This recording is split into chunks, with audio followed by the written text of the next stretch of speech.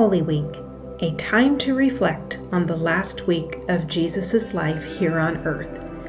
Earlier this week on the blog, we provided a free Holy Week Scriptures for Reflection guide. And over the last few days, we've been preparing our heart and home for Holy Week.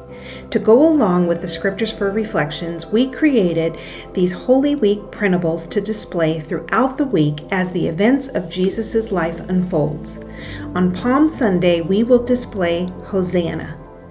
On Thursday, we will display Worthy is the Lamb to remind us of the Last Supper Jesus had with his disciples, and a reminder that Jesus is the Lamb that took away the sins of the world.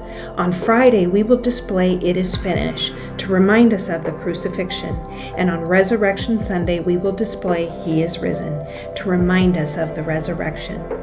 These printables can be printed on cardstock or paper and displayed somewhere in your home where you can see them throughout the week. We already have Hosanna out in our kitchen since that is where we spend most of our time, and Hosanna will stay there until Thursday when we switch it out for Worthy is the Lamb.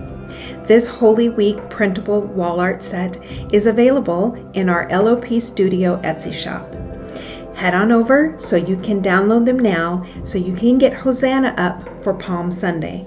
If you need the Scriptures for Reflection guide for Holy Week, visit us on the blog so you can download that today.